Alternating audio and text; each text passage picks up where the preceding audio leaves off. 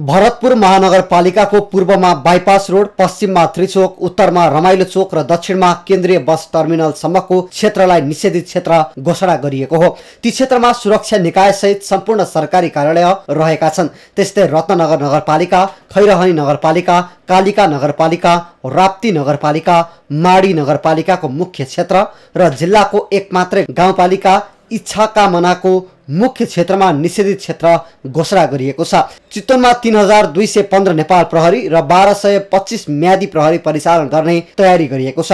त्यस्तै चितवनमा रहेका एक सय एकसठी केन्द्र मध्ये उन्चासवटा अति संवेदनशील उनासाठी संवेदनशील र बाँकी त्रिपन्न सामान्य रहेको जिल्ला प्रहरी कार्यालयको ठहर छ। मतदान स्थलको लाई विभिन्न विभिन्न सेक्युरिटी एनालाइसिसबाट संवेदनशील अति संवेदनशील र सामान्य गरी वर्गीकरण गरेका छौँ।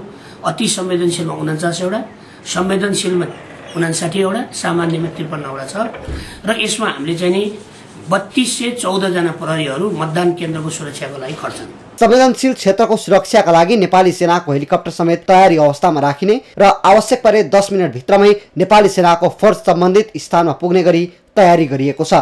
जिल्लामा सबै दलसँग सहकार्यकै आधारमा शान्ति सुरक्षा लगायत अन्य सबै तयारी पुरा गरिएको छ। अहिलेसम्मको गतिविधिहरू सुरक्षाको हिसाबमा असाध्यै सौहार्दपूर्ण रहेको सामान्य रहेको र केही छिटपुट भएका केही थ्रेटमा चाहिँ अलिक त्यताउता भएकालाई हामीले कानुन बजी पक्राउ गर्ने कारवाही गर्ने क्रममा हामी गरेका छौँ। चितवनमा भयरहित ढङ्गले निर्वाचन गर्न आवश्यक तयारी गरिएको प्रहरीले जनाएको छ।